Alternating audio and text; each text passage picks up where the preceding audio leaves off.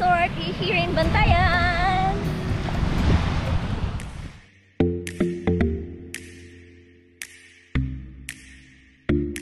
Hi guys! Welcome to Anika Resort here in Bantayan Island.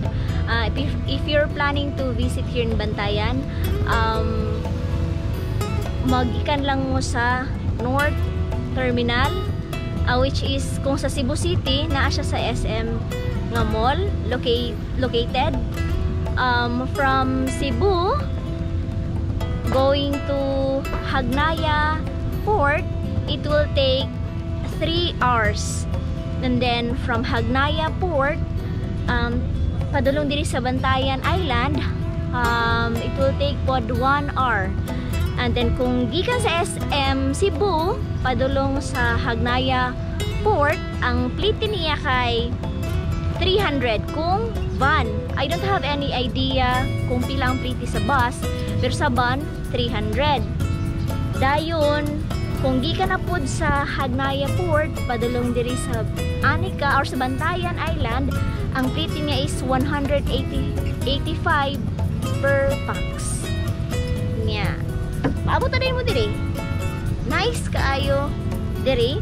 Um, na ay cheapest nga mga resort mga lodging house diri sa Bantayan. Pero kami nakabook mi diri si Anika Hotel. Uh, per night niya kay ang per night diri sa Anika Resort kay 2,200 2 packs na na siya. Ini og abot ninyo sa Hagna sa Bantayan Port. Naa sila yung shuttle bus nga mo pick up nyo padulong sa ang resort. So later uh, itour mo na ako around Bantayan Island. Bye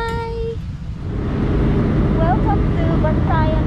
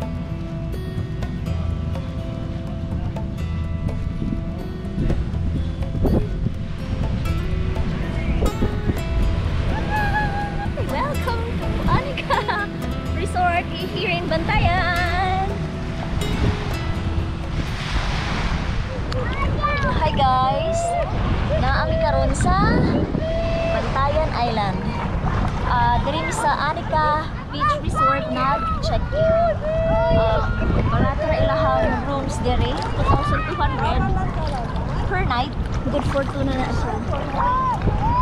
Yeah, mo na ilahang bitch. Bitch! Nice guy.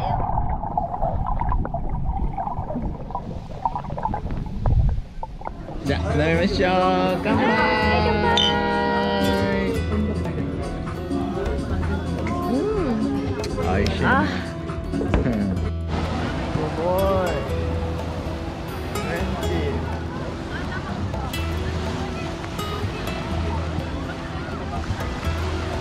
Wah, sugoy ne.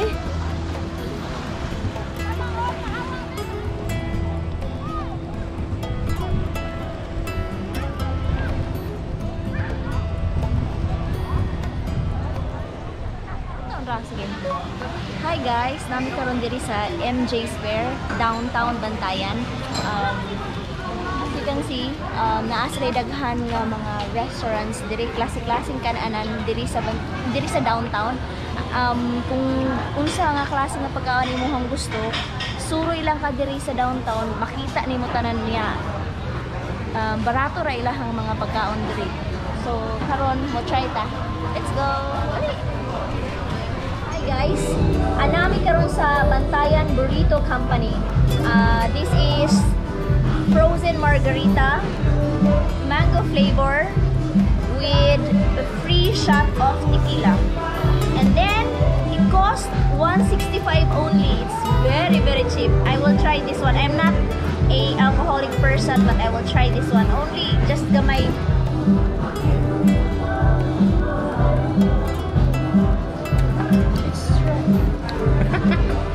Guys, mo ano yung specialty sa Bantayan Burrito. Burrito Company. This is special burrito.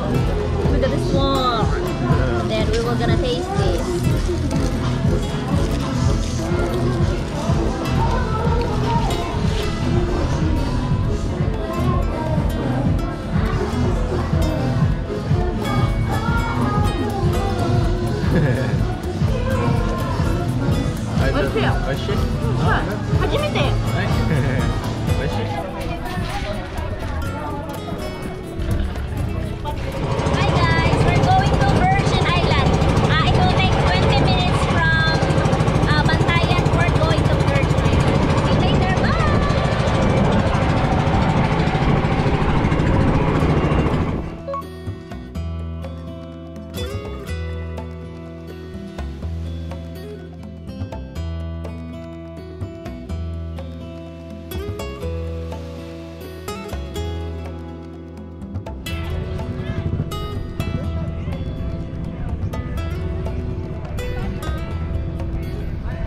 Hi guys, naanami karon sa Virgin Island. So, inigdak ninyo diri sa Virgin Island. Um, ang entrance niya is 200 per pax. Kung gusto mo mag-rent og table with chair, 300 ra. Niya ang rent namo sa bangka is 1,000. Apil na na siya ang docking fee. So, ang maximum, kung gamay lang siya nga boat, ang maximum niya nga mas packs nga masulod is 5 packs. Pero kami, 2 packs rami. Niya, kung ato sa mo sa other island aside from Virgin Island, and then napot sa lagoon, um, muad lang mo og 300 pesos sa bangka para mato mo sa lagoon. So, look at the water. It's very clear and it's very hot. Okay, bye!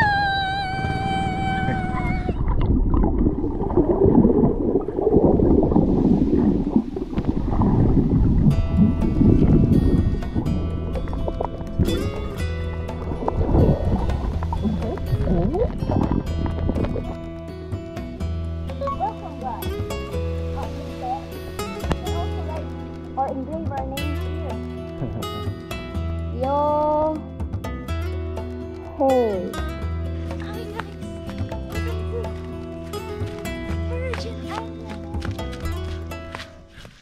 Hi. Hi guys, we're now here sa um, Virgin Island cliff jumping. Uh, that one is 5 meters. That one is 10 meters, I think. And this one is also 5 meters. I will try to jump. Um, it's kind of scary.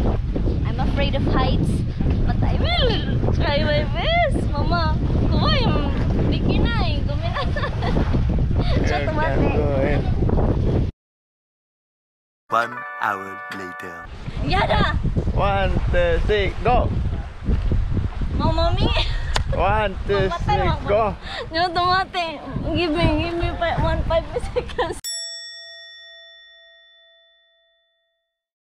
たい、と思います。じゃあ、行ってきます。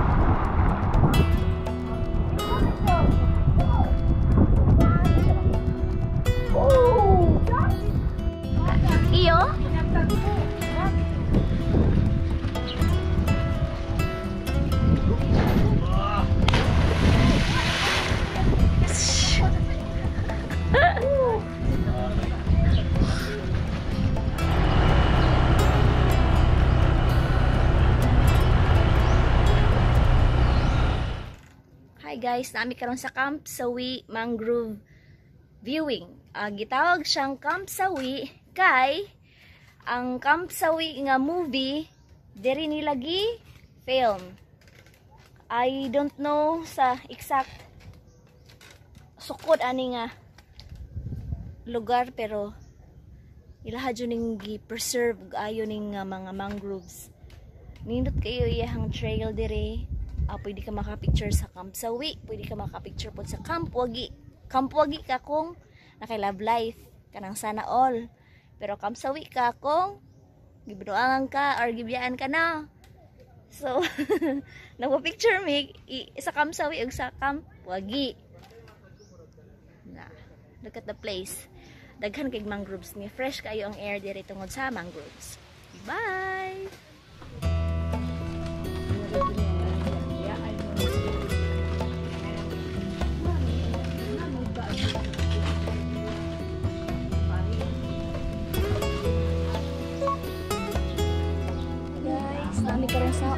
Cave.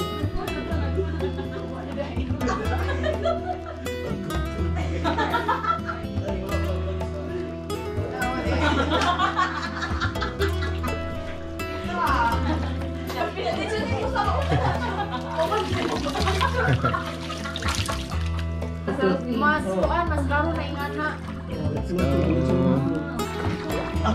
Na, tangkang na yung kuan dyan. Can I borrow?